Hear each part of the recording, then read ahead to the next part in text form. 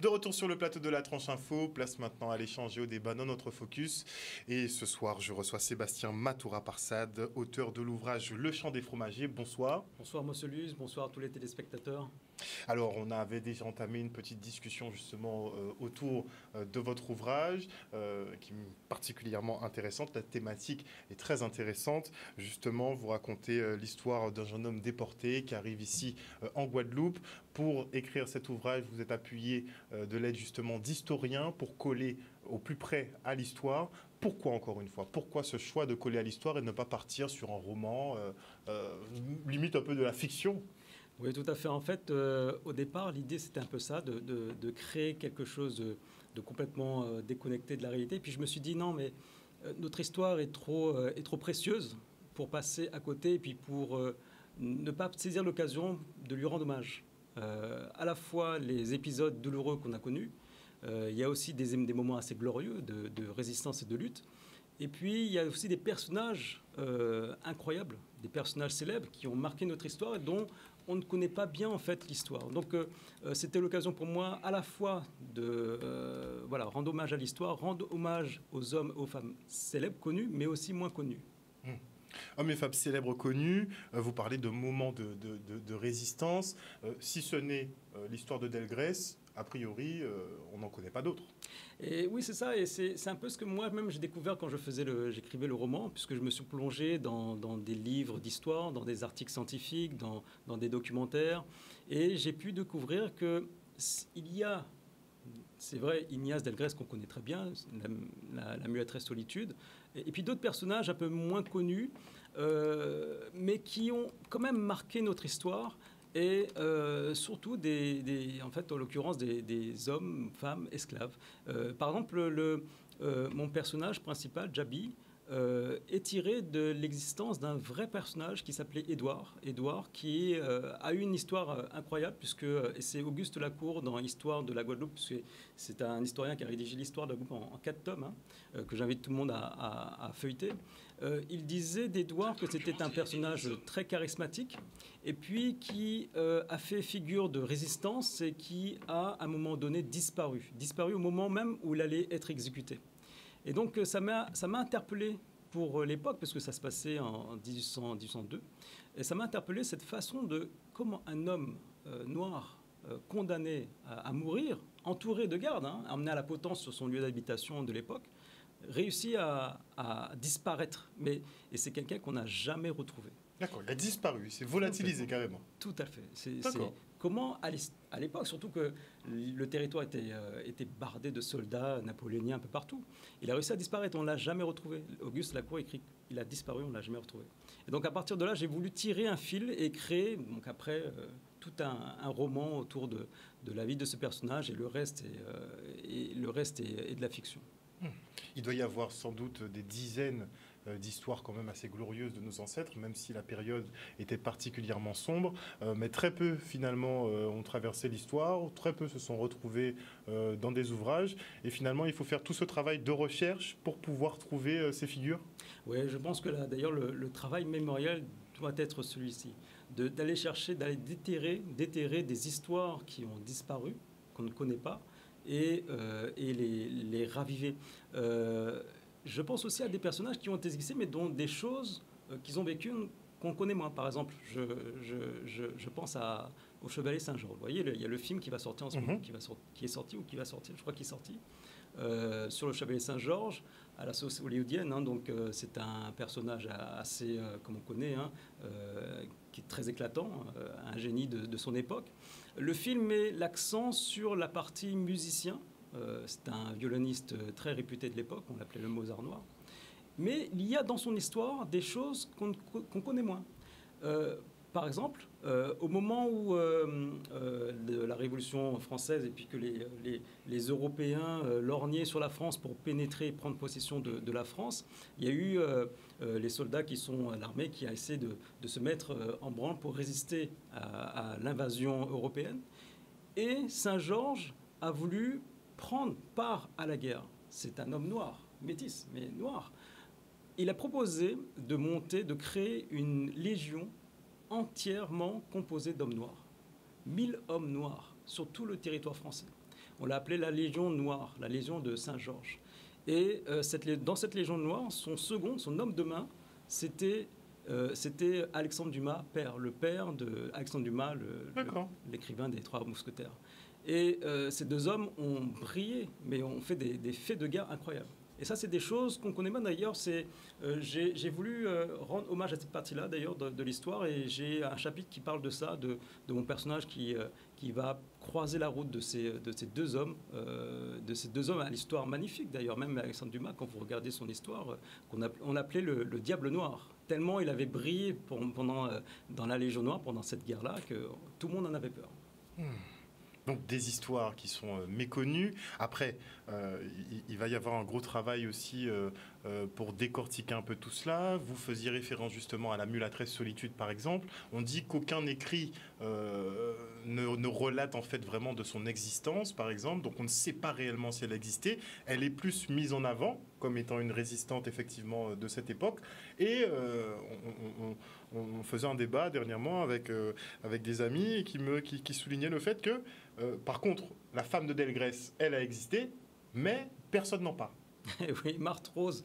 Euh, Donc, euh, tout à fait. Quelqu'un dont on ne connaît pas vraiment l'existence est mise en avant. Par contre, une femme qui a joué un rôle réel, elle est complètement passée sous silence. C'est vrai, c'est vrai. Et Marthe Rose, euh, a résisté au même titre que tous les autres, hein, d'ailleurs. Hein. et elle n'est pas morte avec, elle est morte après Delgrès. Elle n'est pas morte avec Delgrès parce qu'au moment où il devait rejoindre Tousmatouba, donc l'habitation la, elle a chuté et elle s'est brisé la jambe. Et on a dû euh, donc lui remettre un peu la jambe, mais elle était tellement blessée qu'elle n'a pas pu rejoindre.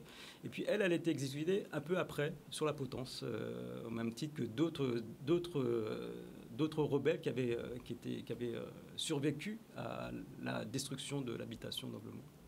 Mais son histoire, c'est vrai que méconnue méconnu. Et puis, et puis c'est vrai aussi que euh, les femmes, d'ailleurs moi je, tenais aussi à avoir des, personnages femmes qui soient aussi fortes, parce que euh, la femme était frappée d'une, d'une, d'une trinité, mais, mais presque, euh, presque terrifiante. Elles étaient à la, fois, à la fois femmes, pour l'époque, aujourd'hui on voit la discrimination homme-femme, mais imaginez à l'époque, femmes, noires, esclaves, c'était la triple peine elles. Et elles étaient, renvoyées derrière l'homme noir. Donc c'était quelque chose d'extraordinaire de, voir que ces femmes-là euh, prenaient fait et cause et prenaient euh, euh, les soldats napoléoniens au collet et puis, les, et résistaient, prenaient les armes et se battaient.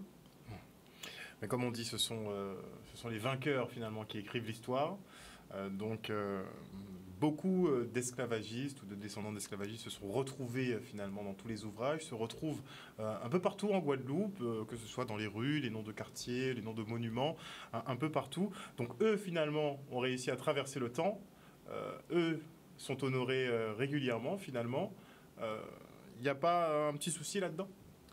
C'est vrai que ça pose question. Ça pose question et c'est une question d'ailleurs que je me suis posée euh, à la fin du bouquin. Euh, à la fin du bouquin, j'ai une post-passe où j'essaie d'avoir une réflexion sur, sur tout ça, une réflexion avec mon regard d'aujourd'hui sur le passé, euh, et puis c'est vrai que ça pose question. Ça pose question quand on voit, surtout quand on s'intéresse à la toponymie euh, de notre territoire, chose qu'on ne fait, qu'on ne fait plus. On, est dans le territoire, bon ben, quand on nous dit euh, rendez-vous, sélection Blanche, sélection Jabrin, on y va, mais sans savoir qui sont ces gens. Mhm, mhm, mais ces noms sont associés à des, des, noms, comme vous dites, des noms, des noms d'esclavagistes et dont on ne connaît pas l'histoire dont on ne connaît pas l'histoire. Et il y a certains personnages d'ailleurs, hein, si je, peux en parler.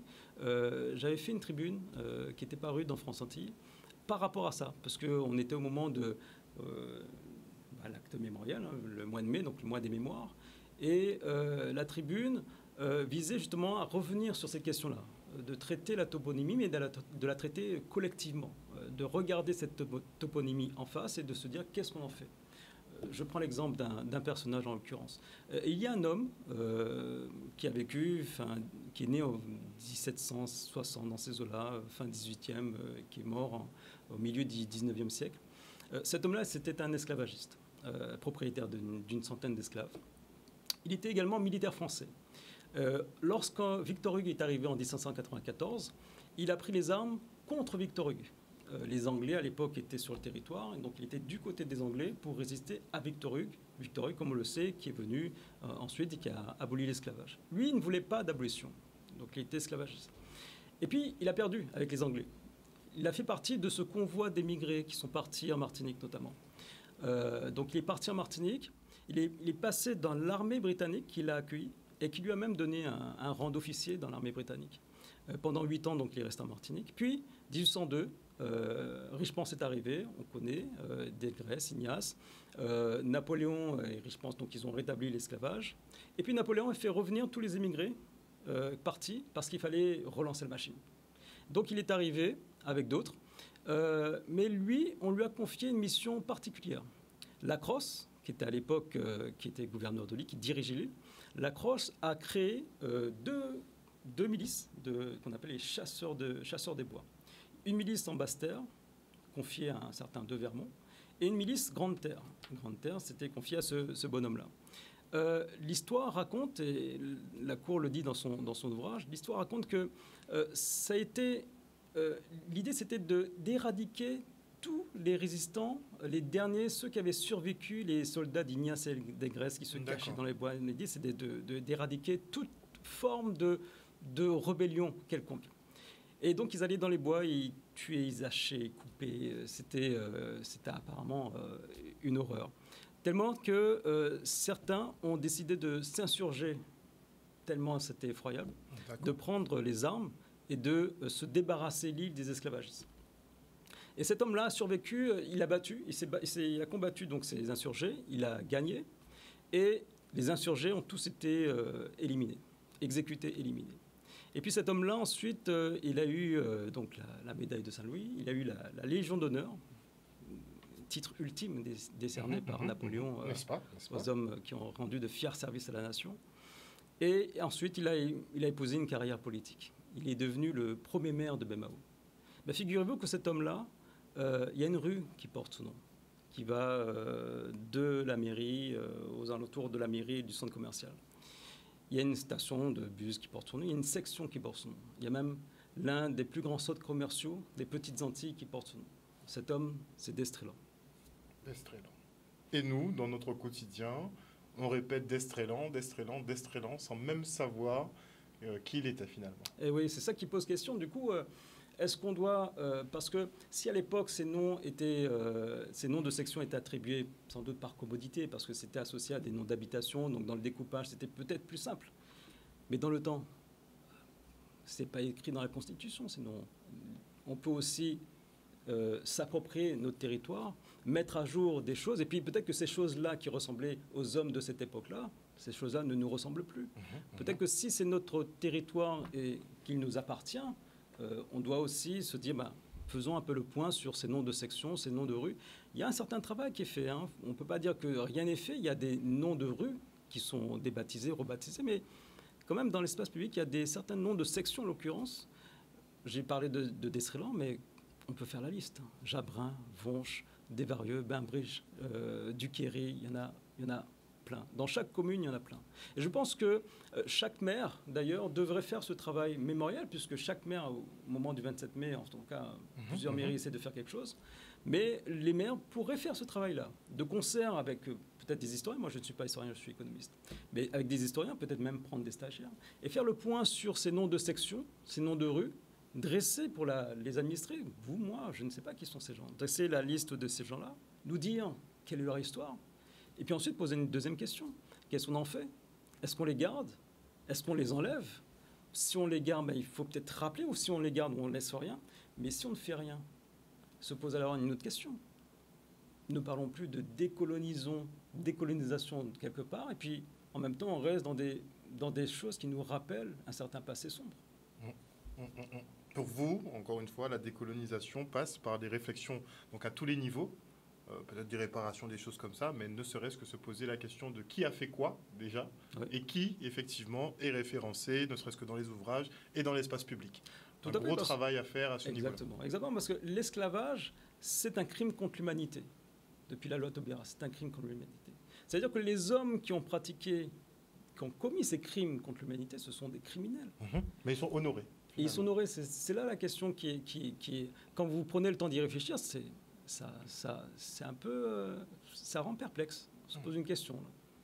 Mais quand on voit euh, l'intérêt euh, de la population, par exemple, sur des questions euh, d'autonomie, est-ce qu'on sait à peu près où est-ce qu'on se situe sur ces questions de décolonisation des esprits, ne serait-ce que par le fait de rebaptiser des noms de rues, des noms de sections? Est-ce que ça intéresse la population, ça? Et, oui, en fait, au moment où je rédigeais cette tribune, on avait réalisé avec des étudiants de l'université dans le cadre de leur projet sur plusieurs thématiques, mais il y avait une thématique en l'occurrence parmi d'autres qui était sur euh, la toponymie. Et euh, l'idée était de savoir si les Guadeloupéens, quelle était leur sensibilité par rapport à ça. Et donc, euh, une des questions, c'était de savoir, bon, parmi, parmi l'ensemble des questions, c'était de savoir qu'est-ce qu'on fait avec ces noms de, sections qui sont liées à des, esclavagistes. Eh bien, le résultat de ce sondage, alors sondage mené sur 400 personnes, donc hein, sur un mhm. échantillon représentatif de la population, et sur ces 400 personnes, eh bien, on avait 50% qui disaient non, il faut éliminer euh, tous ces noms. Euh, on faut tout enlever, il faut rebaptiser avec des noms plus modernes, des, choses qui nous ressemblent.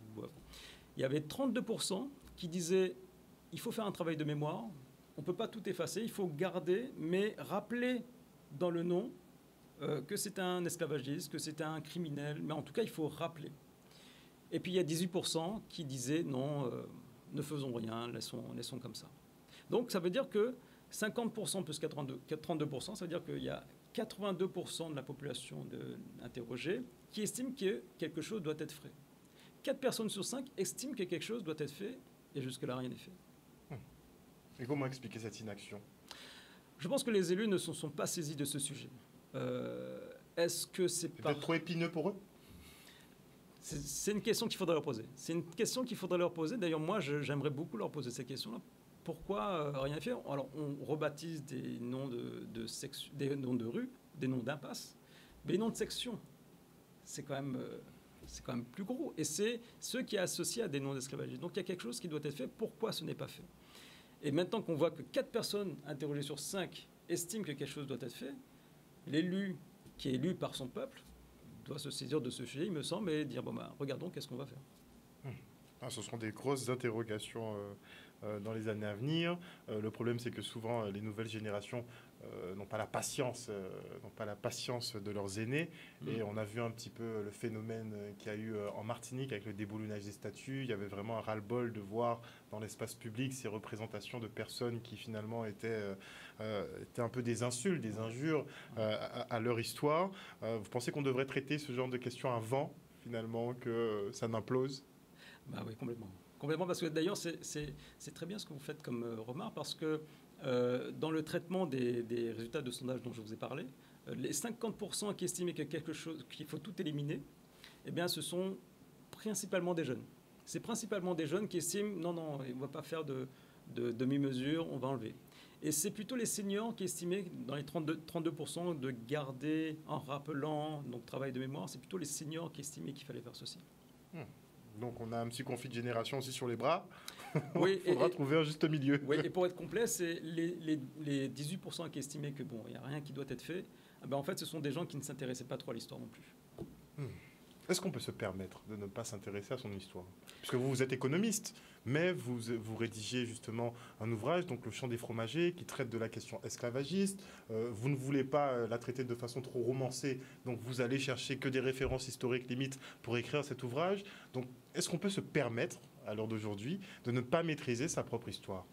C'est d'autant plus euh, grave. Alors moi, c'est vraiment... Euh, je ne suis pas historien, donc ce n'est pas un, roman historique. Non, mais vous êtes appuyé en tout cas d'historiens pour rédiger. Absolument. Et c'est pour ça que j'avais à cœur de me faire relire, comme vous dites, par deux historiens pour, être, pour ne pas corrompre l'histoire. Euh, et pour ne pas être taxé de... voilà, j'ai détourné l'histoire, je voulais m'assurer d'être bien dans les clous et de respecter notre histoire. Maintenant, sur la question de est-ce que c'est...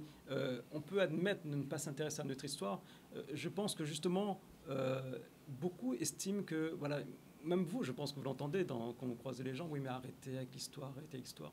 Mais arrêtez avec l'histoire, arrêtez avec l'histoire, je pense que c'est oublier la façon dont notre territoire fonctionne. Il y a beaucoup de choses de notre territoire aujourd'hui qui s'expliquent par les éléments du passé. Euh, je prends un exemple. Euh, aujourd'hui, on a, et là je prends ma casquette d'économiste, euh, on a un problème de pauvreté monétaire, de coût de la vie, c'est des sujets sur lesquels je travaille. Des taux de pauvreté monétaire qui sont beaucoup plus importants chez nous, dans les territoires d'outre-mer, mais en Guadeloupe, que dans l'Hexagone. Quand vous regardez l'histoire, c'est là que vous comprenez pourquoi la chose. En 1848, lorsqu'il y a eu abolition de l'esclavage et qu'on a dédommagé les anciens esclavagistes, 126 millions de francs or. Euh, l'équivalent, c'est des dizaines de milliards d'euros. Ces 126 millions de francs or ont été versés aux anciens esclavagistes. Les anciens esclaves n'ont rien eu. Ils ont eu juste l'obligation de travailler, avec un sobriquet donné à l'état civil. Rien dans les poches. Dès là, on a créé ce qu'on appelle en économie des dotations initiales. C'est-à-dire que vous avez donné à des gens, une petite minorité, beaucoup, et une masse, rien. C'était le préalable des inégalités. Et avec le temps, on a essayé de résorber, de réduire ces inégalités, mais qui sont restées. 10% de la population détient 80 à 100% des richesses dans nos territoires. Et les inégalités sont incroyables. Et ça ne s'explique que par le passé. Je, vous donne un autre exemple euh, de l'effet du passé sur le présent. Aujourd'hui, quand vous avez des, dans les mouvements sociaux, dans le dialogue social entre le patron et les ouvriers, vous avez toujours les revendications salariales qui reviennent, mais aussi vous avez en filigrane de ces revendications le passé esclavagiste. Le rapport au travail est toujours, quelque chose de compliqué avec le patron. Mais ça, ça s'explique parce que notre histoire nous a, euh, nous a positionnés dans ce sens-là. On ne peut pas sortir indemne de l'esclavage. Et ça, c'est un, une influence qu'on a du passé sur le présent. Mais ne pas, ne pas ne faire fi de cet élément-là, c'est ne pas comprendre la relation qu'on peut trouver dans le travail entre l'ouvrier et le patron. Il faut prendre en considération ce, ça, ceci pour essayer d'aller mieux, euh, d'aller de l'avant. On ne peut pas ignorer euh, son passé. On dit effectivement euh, qu'il faut le maîtriser pour ne pas répéter les mêmes erreurs dans le futur. Ce que nous, on fait un petit peu. Hein. Des fois, on a l'impression qu'on est un peu pris dans une boucle ici en Guadeloupe. C'est vrai qu'on a du mal à avancer, surtout sur les rapports hein, entre descendants d'esclaves et descendants d'esclavagistes. On n'arrive toujours pas à trouver finalement un terrain d'entente, à aller vers la réconciliation. Mais c'est aussi beaucoup parce qu'on est dans l'omission et dans le déni. On parle pas assez. Eh oui, eh oui c'est vrai, c'est vrai. C'est vrai que, d'ailleurs, euh, voyez, euh, au moment où on a parlé de l'assimilation euh, en 1946 avec Césaire, et qui faisait ce travail de, de, départementalisation, l'idée c'était d'être assimilé à une autre région française, d'être comme les autres régions françaises on voulait la reconnaissance. Et ce cette demande, ce besoin de, reconnaissance ne pouvait pas aller de pair avec le fait de rappeler les heures sombres du passé. Et c'est là qu'on a, comme vous dites, eu ce, déni d'existence, de, ce, ce, comment dire, cette... Euh, je perds les mots, mais c'est un peu ce que vous avez dit, c'est qu'on a voulu effacer ce qui faisait de nous des descendants d'esclaves et que vous pouvez expliquer ce que nous étions d'ailleurs jusque, jusque dans les années 90. Notre mémoire s'est inscrite en pointillé on ne connaissait pas bien les, toute notre histoire. C'est depuis les années 90, surtout la, marche euh, euh, CM98 avec euh, Romana et, tous ces hommes-là, qu'on a pu avoir, qu'on a recréé et recomposé les éléments de notre histoire, qu'on commence à comprendre mieux notre histoire. C'est vrai. Et en tant qu'économiste, j'aurais voulu vous poser une question. on dit que l'abolition de l'esclavage n'est pas une question d'humanité, mais une question financière, parce que concrètement, l'esclavage ça occasionnait beaucoup de pertes. On m'a expliqué que les banquiers euh, voyaient ça effectivement comme des placements euh, un, peu, un peu douteux à un certain moment, puisqu'il y avait beaucoup de fugues, beaucoup d'esclaves perdus. Donc ça faisait, euh, ça faisait beaucoup de pertes pour les détenteurs d'esclaves. Et visiblement, l'abolition découlerait de questions économiques, mais pas de questions humanitaires. En fait, même l'esclavage découle de, questions économiques. C'est l'économie qui a créé le système esclavagiste. C'est uniquement des, besoins pécuniaires qu'on. Ce sont les. C'est une démarche pécuniaire qui a, propulsé sur les mers les, armateurs, les, euh, les, corsaires, les fibustiers, les, euh, les colons. C'est uniquement une dimension pécuniaire qui a expliqué la création du système esclavagiste et qui est euh, le modèle le plus profitable on paie, on, paie juste l'achat d'un homme et on lui donne un petit lopin de terre, on lui dit de se débrouiller pour manger. L'espérance de vie euh, d'un esclave, c'était 10 ans. rarement, ils atteignaient les 40 ans. Ils mouraient très vite. Et puis, on le remplaçait.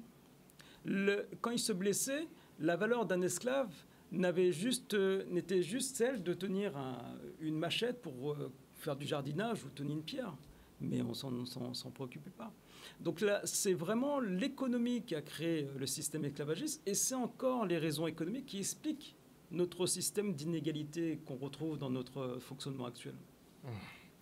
En tout cas, j'invite les téléspectateurs à se pencher donc sur votre ouvrage, Le chant des fromagers, qui revient euh, sur ces questions euh, de, l'esclavage, de la déshumanisation euh, d'hommes pendant toute une période, pendant une très très longue période. Vous portez donc votre regard sur cette question. Merci beaucoup Sébastien Matoura-Parsad. Le mot de la fin?